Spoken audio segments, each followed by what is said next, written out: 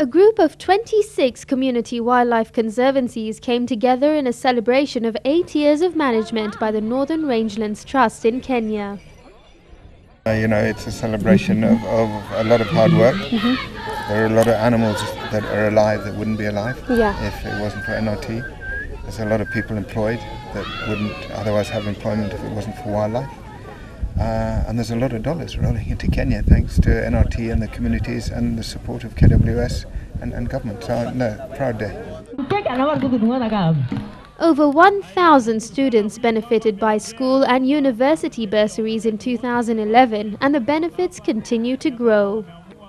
So the benefits are many, uh, including peace. Now they're able to um, um, you know, live peacefully, you know, unlike in the past where in some areas, uh, areas like Sera, uh, you, people can do sleep uh, with their shoes on, but currently uh, the area is peaceful.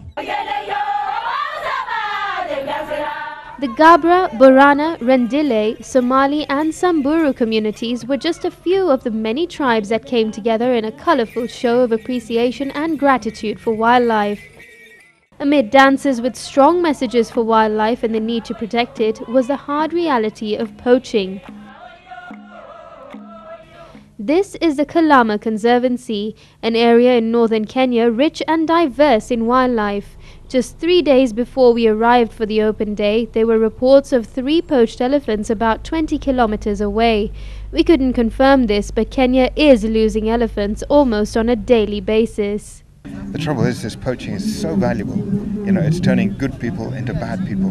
We live with illegal firearms up here, and and elephant are very easy to kill, and and so the the real issue is the value and the demand. But the bottom line, as far as NRT is concerned and communities are concerned, it's ongoing support from government and the provision of Kenya Police Reserve and the training from Kenya KWS to support that, and it's just bringing communities together on a constant basis to remind them of the value of that wildlife.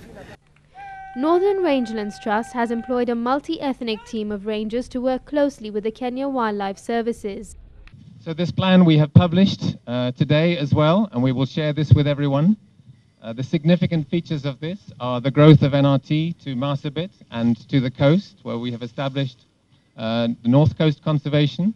Uh, in Marsabit, three new conservancies. So the expansion of NRT and its successes is on track.